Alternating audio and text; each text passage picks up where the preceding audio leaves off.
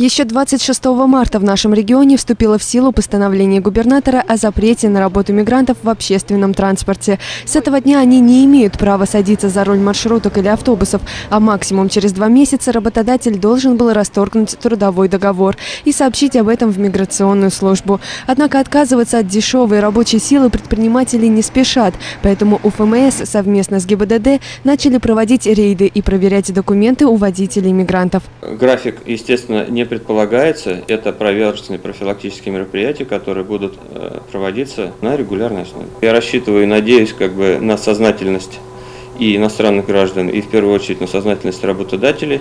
Соблюдение постановления, впрочем, не означает, что возить тверитян будут только граждане нашей страны. Запрет не распространяется на мигрантов с разрешением на работу или временное проживание, а также на выходцев из стран Евразийского союза – белорусов, киргизов, армян и казахов. А вот за остальных водителей мигрантов для предпринимателей предусмотрены штрафы до миллиона рублей. Жители города в основном такие меры поддерживают.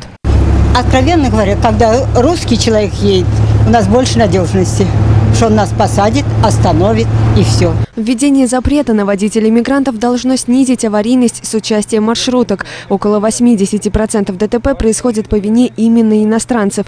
Еще одна причина многочисленных аварий – огромное количество нелегальных маршруток. Эта ситуация, она нездоровая в процессе перевозки у водителей происходят соревнования за пассажиров, а это влияет и на безопасность.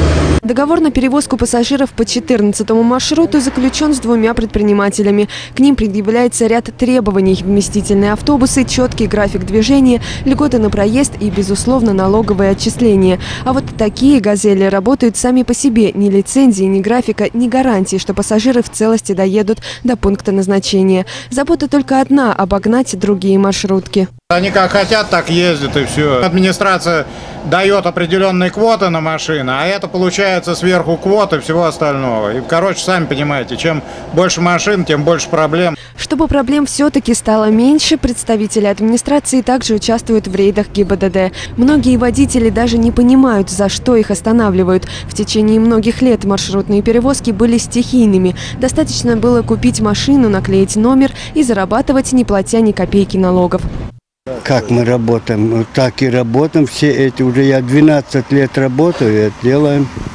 Так работаете-то без договора. Почему? Ну а как все работают, все. Объяснение, как все, в данном случае не работает. Разговор получается коротким. На водителя составляется протокол. Первый раз заплатить придется 2000, при повторном нарушении 5. Для предпринимателей штраф солиднее – от 150 тысяч. Подобные рейды обещают проводить ежедневно, так что в ближайшее время или существенно пополнится казна города, или по Твери, наконец, перестанут ездить нелегальные маршрутки. Светлана Маркина, Илья Чечин, Виталий Осипов, РЕН-ТВ «Пилот».